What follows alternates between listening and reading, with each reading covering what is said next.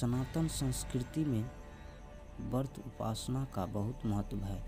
भगवान शिव को खुश करने के लिए तो अक्सर महिलाएँ और पुरुष सोमवार का व्रत रखते हैं, जहाँ पुरुष अपनी मनोकामनाएँ पूरी करने के लिए व्रत रखते हैं। वहीं कुमारी लड़कियाँ मनपसंद जीवन साथी पाने के लिए और सुहागिन महिलाएँ सदा सौभाग्य रहने की कामना के साथ व्रत का पालन करती है। कहा जाता है कि भगवान शिव ही अकेले ऐसे देव हैं जिन्हें प्रसन्न करना बहुत ही आसान है। भोलेनाथ भक्तों की भक्ति और श्रद्धा को देखकर उन्हें मनचाहा वरदान देते हैं। भगवान शिव को खुश करने के लिए उसके साथ साथ कुछ सरल उपाय भी कर लिए जाए तो शिव जी की कृपा जल्द ही मिल जाती है। आइए जानते हैं सोमवार के दिन भगवान शिव के कौन से उपाय करने से लाभ मिलेगा। भगवान शिव को प्रसन्न करने के लिए सुबह नहाने के बाद सफ़ेद, हरे, पीले, लाल और आसमानी रंग के वस्त्र पहनकर ही पूजा करें, क्योंकि माना जाता है कि पुराणों में रंगों का भी पूजा से विशेष महत्व जोड़ा गया है।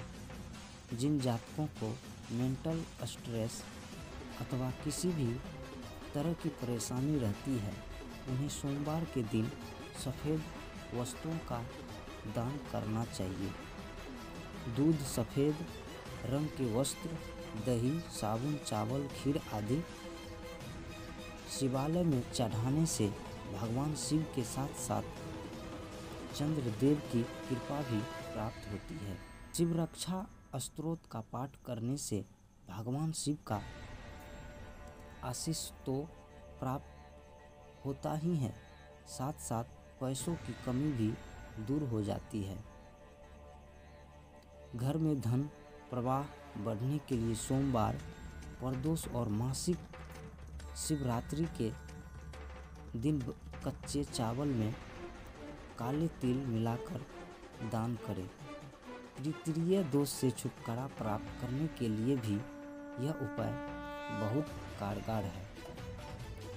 जिन लोगों की कुंडली में चंद्र ग्रह का अशुभ प्रभाव चल रहा होता है उन्हें सोमवार के दिन सफ़ेद रंग के वस्त्र पहनने चाहिए और माथे पर चंदन का तिलक लगाकर ही घर से निकलना चाहिए। ऐसा करने से नकारात्मक प्रभाव दे रहा सोम सकारात्मकता में परिवर्तित हो जाएगा।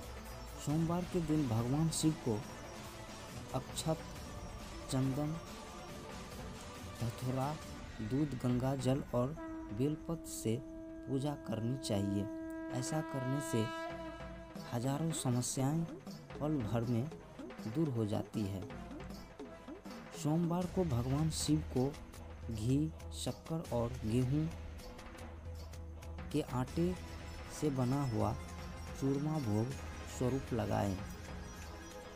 ऐसा करने से घर में होने वाले दिन रात के कलेश से छुटकारा मिलता है और सुख शांति व खुशहाली बनी रहती है।